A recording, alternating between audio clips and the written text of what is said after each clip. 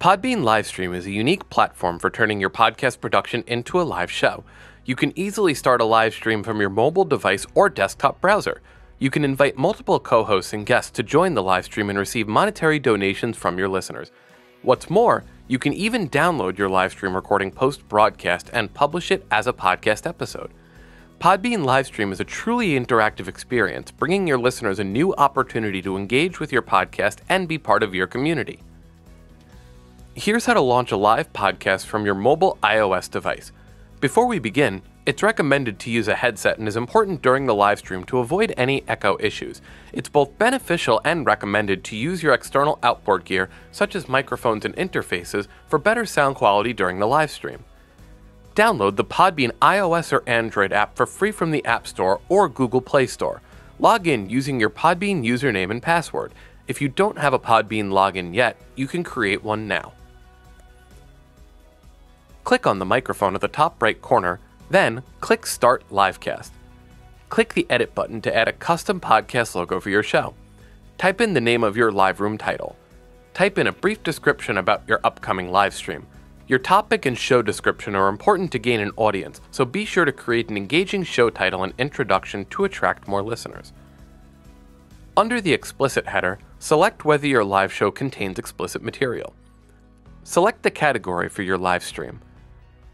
Next, select your live stream's visibility. A public live stream is accessible by anybody and is promoted on the Podbean website and app. An unlisted live stream is only accessible via the link that you provide to your host and listeners. The unlisted feature is a great feature for creating exclusive live streams for your patrons and most dedicated listeners. You can also use unlisted mode for remote recording, testing, and remote interviews. If you click the Start Now button, you'll be directed into the Podbean livestream interface to start your livestream. For now, let's click on the Schedule Time slider. Schedule and select your desired time and date, then click Done. Click Schedule. Your live stream has now been scheduled. Click on the three dots to the right of your scheduled episode.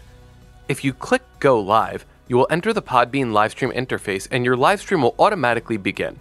If you click Share, you'll be given a shareable link that you can use to promote and invite listeners to join your upcoming live show episode. Listeners can use this link to listen to your live stream on their mobile device or using any computer browser. Note that for unlisted shows, this is the link that your desired listeners will need to access your live stream, so be sure to share this with your intended listeners prior to the live stream. Click Delete to delete your live stream. Let's click Go Live. You will enter the Podbean livestream interface and your livestream will begin now. Note that the maximum duration for your livestream is 180 minutes. Your livestream will not automatically begin at the scheduled time, so you will need to manually start your podcast. To learn more about the various functions of Podbean Livestream, check out our support videos in the description below.